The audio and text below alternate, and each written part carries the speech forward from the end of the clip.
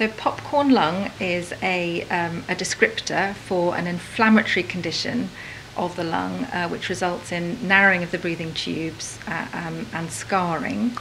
Um, it was described again some decades ago in the US.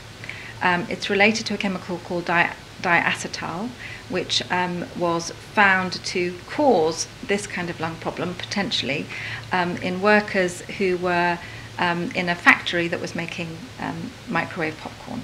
And it was connect. It was linked to the flavouring that was used to make that popcorn taste more buttery. And clearly, um, you know, those people were inhaling that chemical, and, and it appeared to cause this problem in their lungs. There are many other causes of, of this popcorn lung, uh, so called, um, which is medically called obliterative bronchiolitis. But there have been no described cases of pop popcorn lung related to electronic cigarettes. That simply hasn't been seen.